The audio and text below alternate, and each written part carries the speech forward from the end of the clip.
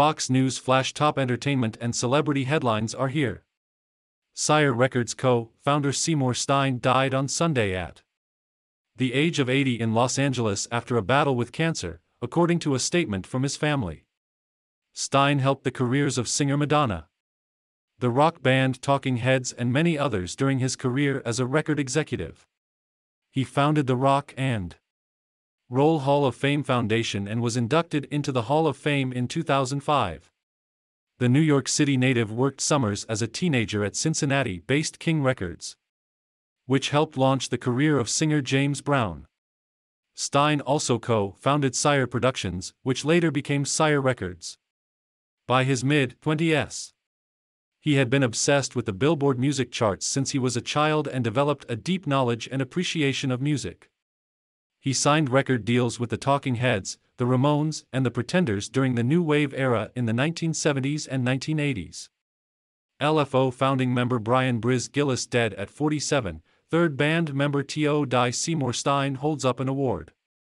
After being inducted into the Rock and Roll Hall of Fame at an induction ceremony, Monday, March 14, 2005, in New York. AP, Seymour's taste in music is always a couple of years ahead of everyone else's, Talking Heads manager. Gary Kurfirst told the Rock Hall around the time of Stein's induction. Stein was also known for his discovery of Madonna in the early 1980s when he heard her demo tape. I liked Madonna's voice, I liked the feel. And I liked the name Madonna. I liked it all and played it again, he wrote in his memoir Siren. Song Storage Wars star Gunter Nezhoda dead at 67 after lung cancer battle Seymour Stein accepts his award during the Rock and Roll Hall of Fame induction ceremony, Monday, March 14, 2005, in New York.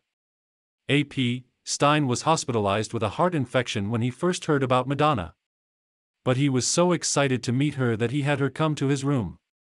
She was all dolled up in cheap punky gear.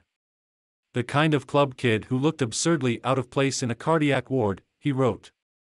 She wasn't even interested in hearing me explain how much I liked her demo. The thing to do now, she said, is sign me to a record deal. Other names Sire had signed include Ice T, The Smiths, Depeche Mode, The Replacements, Echo and the Bunnymen, Lou Reed and Brian Wilson. Co. Founder and chairman of Sire Records Seymour Stein speaks at celebrating Sire Records' 50th anniversary featuring Seymour Stein and other special guests at the Grammy Museum on February 6, 2017. In Los Angeles, California. Getty, Click here to get the Fox News app Stein was briefly married to record promoter and real estate executive Linda Adler before divorcing in the 1970s. He and Adler had two children, filmmaker Mandy Stein and Samantha Lee Jacobs, who died of brain cancer in 2013. Stein came out as gay after his divorce and never remarried. I am beyond grateful for every minute our family spent with him and that the music he brought to the world impacted so many people's lives in a positive way, Mandy Stein said in a statement Sunday.